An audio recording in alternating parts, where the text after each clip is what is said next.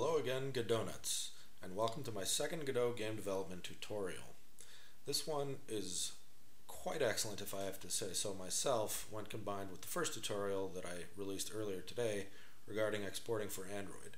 You can find the link to that in the description below. This particular video is going to be a lot simpler. The idea is to just make a little guide so you can easily implement touch to move for 3D environments. Godot makes this fairly straightforward, so it's easy to just use a very short little script. I've made a gist for this script and provided the link in the description as well, but we're going to go over how it works here. The first step is to make a simple 3D scene and set it as the default scene. Here you can see I have a root spatial node and a camera, and I'm just going to add a few sprite 3Ds to it. I've downloaded a bunch of assets from kenney.nl to use because that site has basically some of the best free assets I've ever found. So I'm going to do this with Sprite 3Ds to begin, simply because they are basically the easiest to work with. Um, as you can see, they're placed at a decent position from where my camera is. They're at the origin. I've pulled the camera back a little bit. We're going to just go ahead and add an ambulance upside down, that's fine, we don't really care. I'm going to show you in a little bit how to do it with 3D objects as well, but for now, if we work with sprites, we can just do it fairly easily. Now, you should go to the site, the gist that I provided, copy it, and we're going to add the script here. I already have the script built, uh, so I'm just going to go select it here in my scripts. I've called mine Simple Move and it works on spatial so you can actually add it to any of the 3D objects and it should work just fine assuming that you have the setup the same. Something that's important to note that this script uses, it checks for the UI tapped action. This is not a default. I've gone ahead into project settings and added it through the input map here and all it is is the left mouse button. Normally you would have UI accept for that or a few different things you can have for that, but I prefer to just make my own and have it be the left mouse button. This will translate on Android to be a tap of the screen, so you don't really have to worry about that. Now, for this to work, you have to have a collider on whatever object you're using. In this case, we're going to just add an area. Uh, you don't really need any other physics objects. You add that to the sprite 3D. Now we're going to add a simple collision shape to the area. And actually, if you look at the sprite, it's pretty much just a box. So Sprite 3Ds are really just for rendering 2D objects in a 3D world. So it's pretty straightforward. And we're just going to make sure you grab the ex extents of your collision shape and shrink it so it's about whatever you're looking for on your shape. Uh, we've added the script already. For the area, something you're going to want to do is make sure input ray pickable is on, and you probably want input capture on drag as well. That's not always the case, but just double check and make sure. Uh, this At this point, you would want to set your collision layer if that's what you're looking to do. And actually, at this point, this thing will be movable. But let me go over what exactly the script is doing in the first place. There are a few different ways to handle this. What I actually like to do is I like to put uh, this script as a standalone script in my scripts folder and then inherit it whenever I'm adding to shapes or to different things in my 3D scene. And the reason for that is that all this can be handled by default. You don't really need to mess with anything here in general. A uh, few things that you might have to are the uh, the way that I'm self-identifying. I'll get into that in a little bit, but in general, you really just don't need it except to inherit from it, and then you're good to go.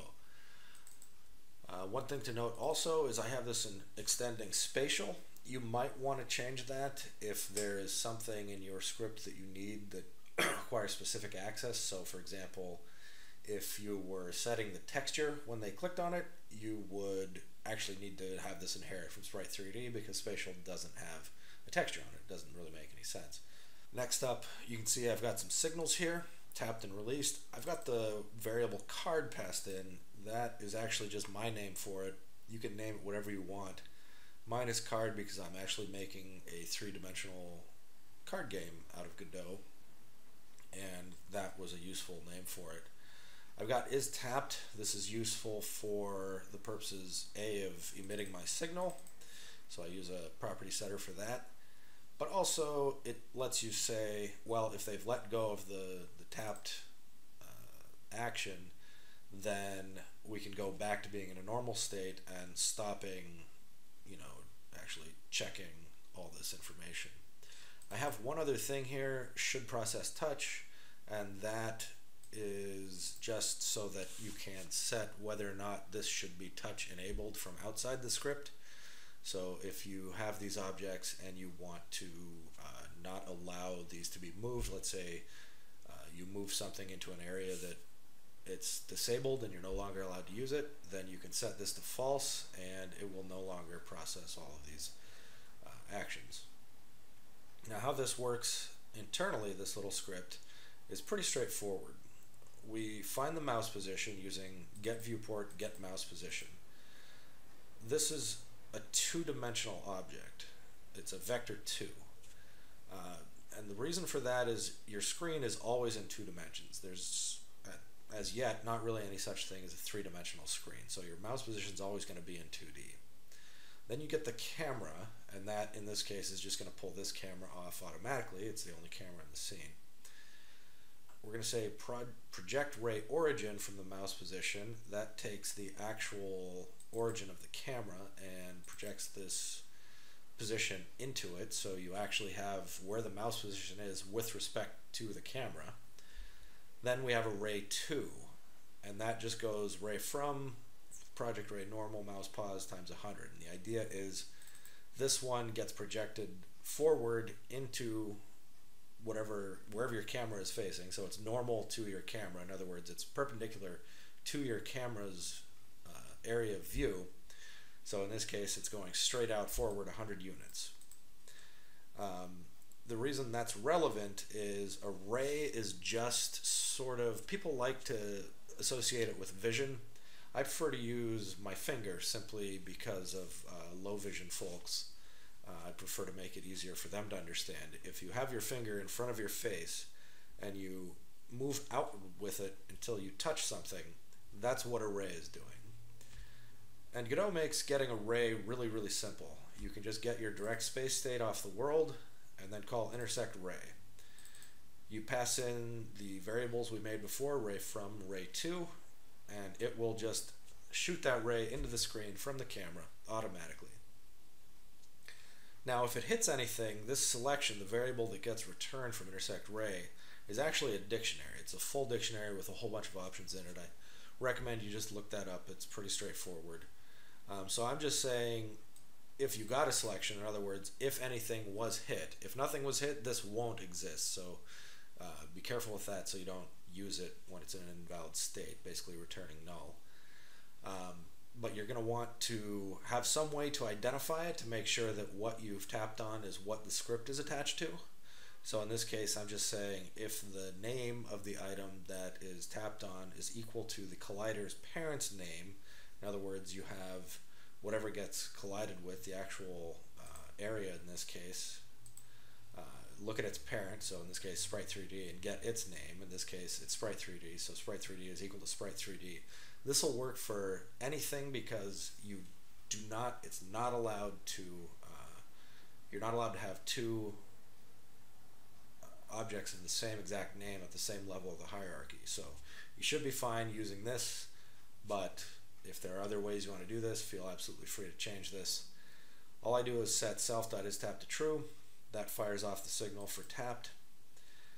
Then we get the local mouse position. So we say, where is it for the selection dot position? So because it's a dictionary, you can just access the position. This is basically where you've clicked on the object itself. And because to local, it actually converts it to a mouse position. And then you just call translate and give a vector 3 with whatever coordinates you're going to use. Now, I believe you will get back the z coordinate for this, but I've found it to be you pretty much almost never actually want to do that, use that at all. And the reason is most of the time you're not with a click, you're not moving something into or out of the screen. Um, that said, if your orientation is such that you you're using the z-axis for some relevant purpose, um, there are things that you might do that, like a football game. If you're throwing a football, you might want the up to go down the z-axis because it's down the field.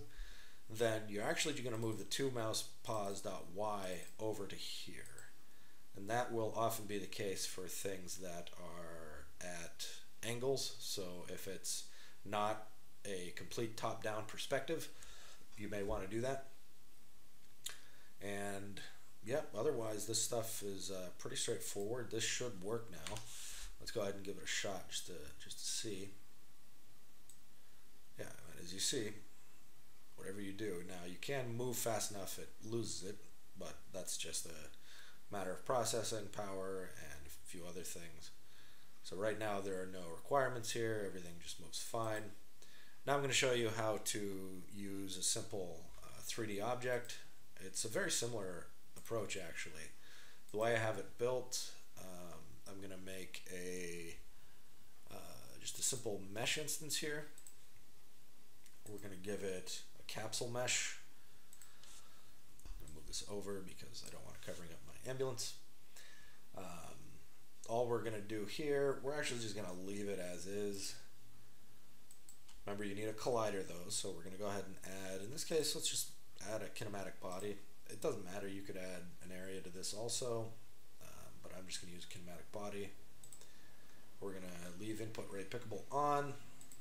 All these things should be fine. I think we're going to set, let's see, up and down is, if we go look at our transform up and down is the y-axis so uh,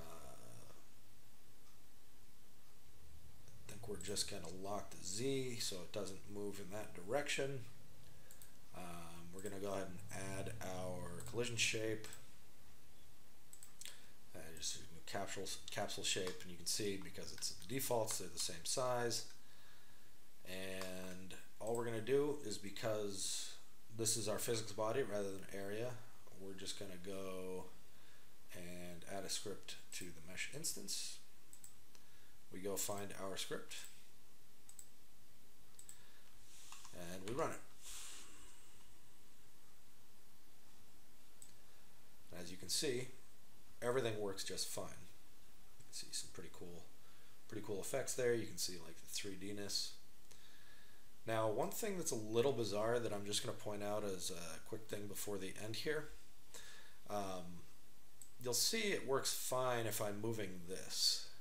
But because we're using a ray and it's looking sort of from the front of the camera, so in other words like here, it's going to pick, and it's projecting outwards, it's going to stop at the closest thing to the camera that it finds.